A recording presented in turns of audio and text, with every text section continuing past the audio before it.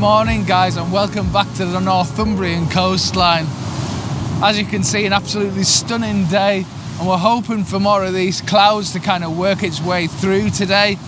We've come to the bathhouse, which I've actually been to before and filmed here before, but it's somewhere that I really wanted to come back to because I think there's so much more potential in this area.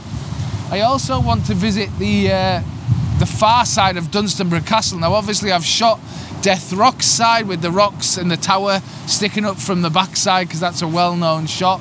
But I actually want to try going back to that area and see if we can get a shot looking back towards the castle. Because what I find from this side is you see more of the detail of the castle and there's there's actually more you can frame up. We're going to kind of walk that way later and kind of explore the area and see see what kind of shots we can maybe get for sunset later. Again, it's looking promising today, but you never really do know until it actually happens later on. So today, what we've done is we've come out early though, in sort of anticipation of the sunset later, and kind of scouting the whole area out to see which composition is going to work best, either the castle or the bathhouse itself and see which is going to work better.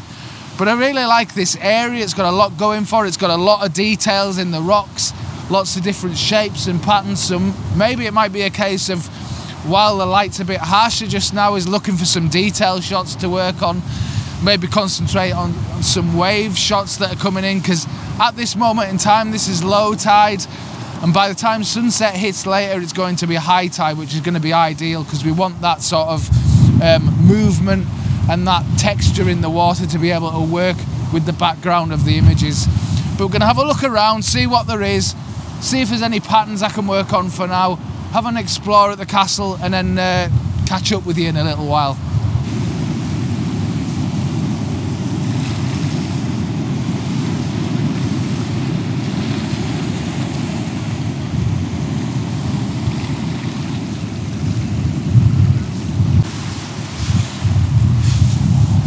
So right guys, we've moved along to uh, actually where Dunstanburgh Castle is now from the far side that I told you about before. But as you can see, you're really low down because it's blowing a gale at the minute. So I'm having to be quite careful that I don't lose you in the wind. And as you can see, the tide is now coming in.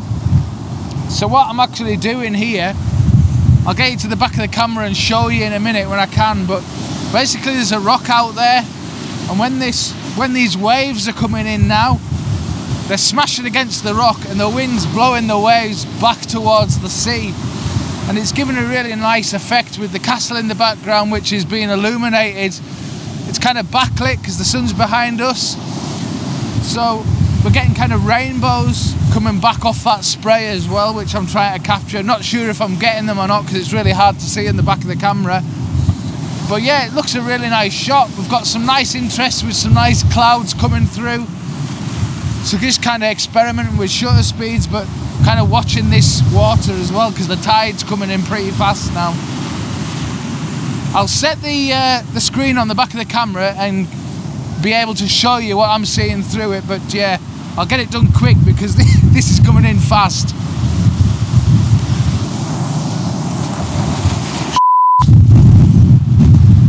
So guys, hopefully what you should see is it's really windy. Sorry, I'm having to be really careful here. I'll press record on the back of here now. There we go, recording now. So hopefully what you'll be able to see is I've got the castle off to the left hand side of the frame. I've got my focus point almost to the edge of that spit of land there because I'm using a little remote shutter. I've got a six stop Kase filter on to slow the water just down a touch. I'm aiming in at about, I don't know, a third of a second somewhere around there because I'm, I'm trying to capture a bit of the detail as that spray comes back over. And as you can see, as the waves are coming in, it's just creating a bit of a, almost like rainbows there. I don't actually know whether I'm capturing them, but yeah, just clicking the shutter as those waves come in and break across over here. Now hopefully hopefully I'm able, you can see the tides coming in really fast so it's a case of watching what's happening all the way around you And as these waves are coming in, they're just breaking against the rock. And I really like the way that the, the wind's so strong, it's pushing the water back over. So it's all a question of timing, really, and just capturing it when that spray is coming back over it the most it is. I really like the way as well, we're getting a lot of nice light on the castle back there and also now the foreground is illuminated so those waves are getting nice depth about them because you can kind of see a lot more. When it before we had all this in shade, all the foreground was in in shade and it didn't quite look the same. Now we've got some nice light on the foreground here, it works a lot better.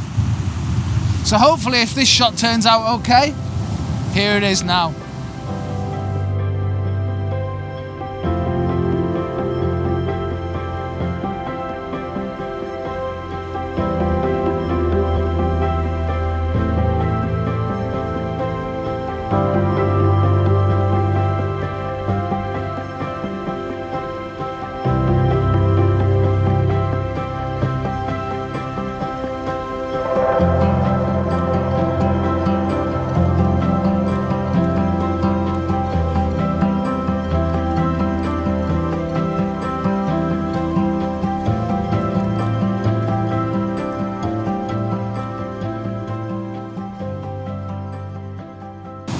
Obviously guys you're not at the most flattering level today as this wind is so powerful and every now and then it's just really picking up quite strong.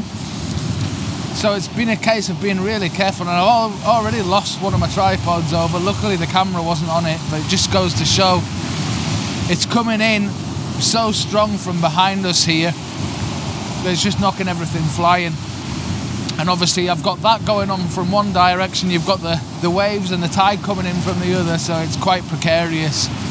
But the reason why we've come along this far today from where we started earlier on is that we thought while the while the light's quite harsh we were coming out and kind of investigate the area explore and find what we're going to shoot for later.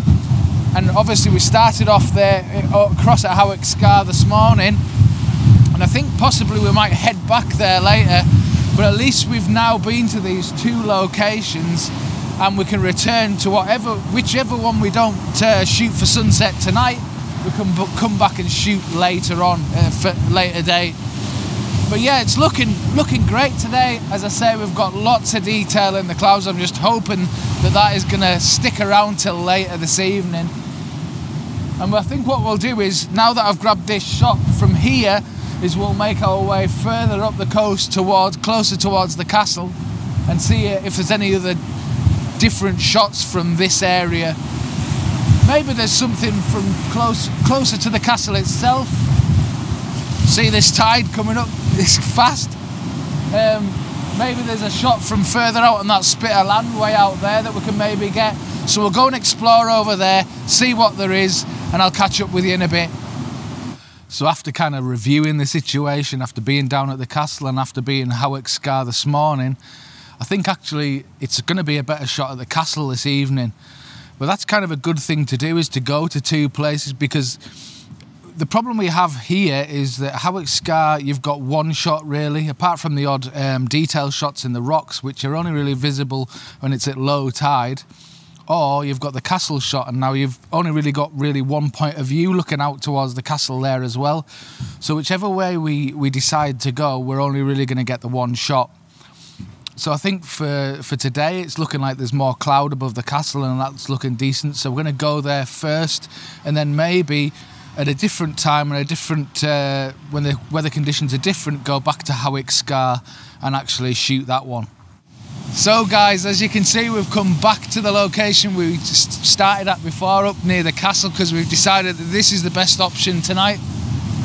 And just before I filmed this piece, actually, it happened so fast. We had rain clouds moving from behind you, and uh, as those as they moved in, there's a lovely rainbow appeared off to the right-hand side of where the castle is over there, and we managed to get a couple of shots with the light hitting the castle the rainbow off to the right and some lovely waves hitting these rocks just down in the foreground here. Really, really nice shot. Unfortunately, didn't manage to film it because it was a scramble just to actually grab that shot.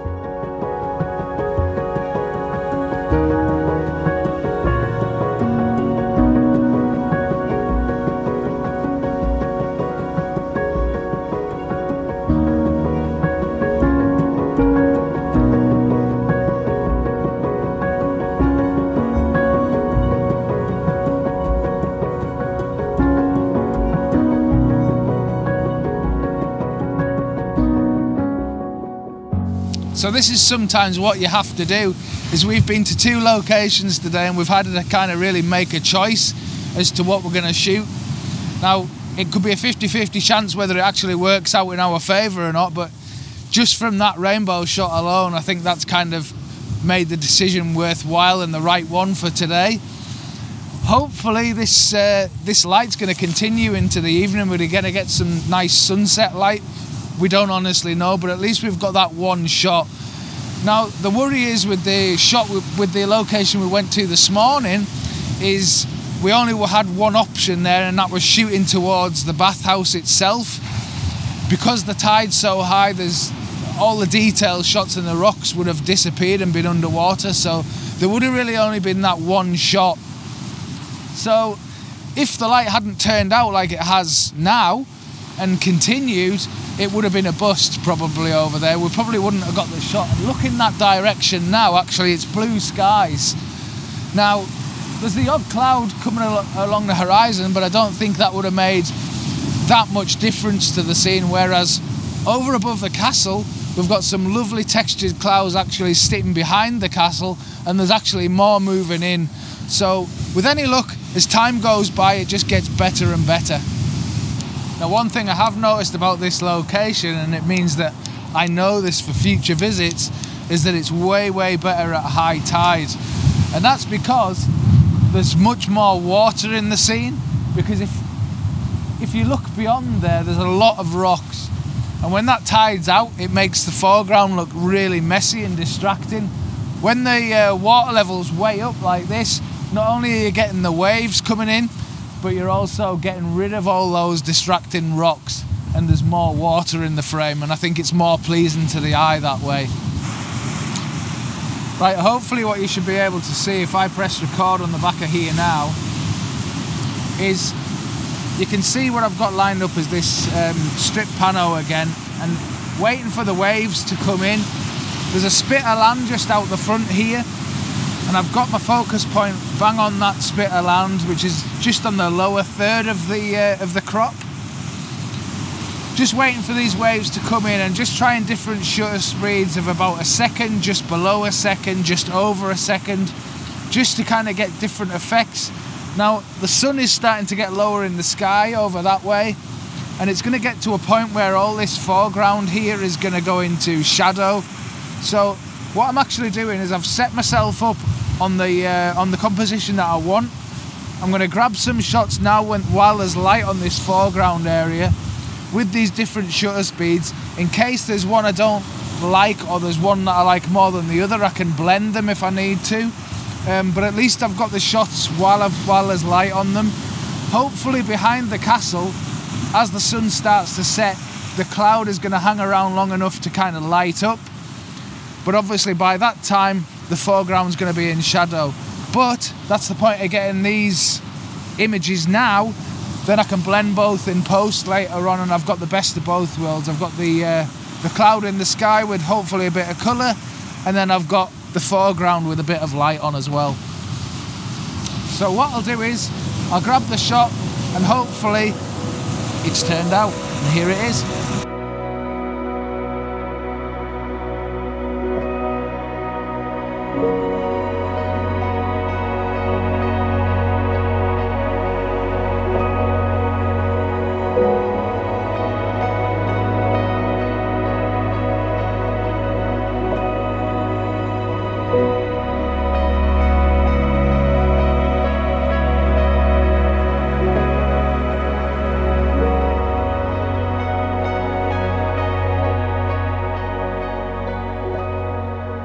Guys, as you can see, we've kind of held out to the bitter end, but it's not really happening. We're not getting the colour we expected to get or hoped to get. Um, but hey, it's the way it goes sometimes. At least we got that image with the rainbow in, so that's kind of made up for the day. And if we hadn't been here and hadn't kind of come here and kind of dedicated time to this, we wouldn't have captured that shot either. So it's always worth coming and scouting it out. As it happens, from the earlier location we tried this morning, there's no colour that way either, so there's nothing back that way, there's no colour at all really. as there isn't a great deal up there and we are starting to actually get a bit of sea fog just starting to come in over there now as well. So yeah, I think that's going to be it. Hope you've enjoyed the video, like and subscribe and I'll see you on the next one soon. Take care. Bye bye.